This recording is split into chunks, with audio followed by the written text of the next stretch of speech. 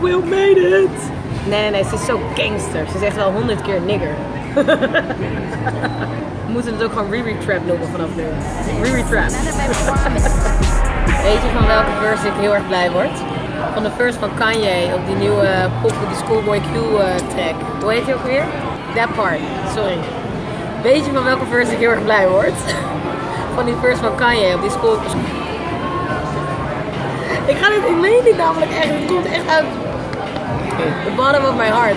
Die verse van Kanye op Schoolboy Q, that part, die is keihard. Weet je waarom? Oké, oké, oké, oké.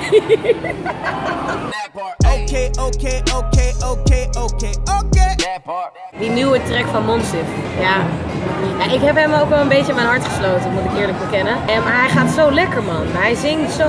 Het, het, het is zo. Het gaat allemaal zo soepel en lekker. En een beetje Young Bieber. Ik denk wel dat dit. eh, deze track luister ik gewoon. Ja, ik zet hem gewoon aan.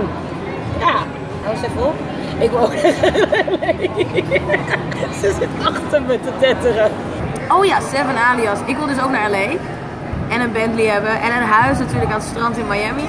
Dat zijn wel dingen die, eh, ja, die ervoor zorgen dat wij op één lijn zitten. Seven Alias en ik. Nee, het is toch keihard die track. Het is toch leuk? Ja, ik hou ervan. Ja, ja, ja.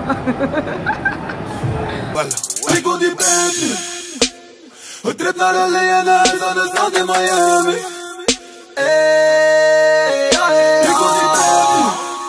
Rihanna op nummer 1. Op nummer 2 Schoolboy Q, Kanye.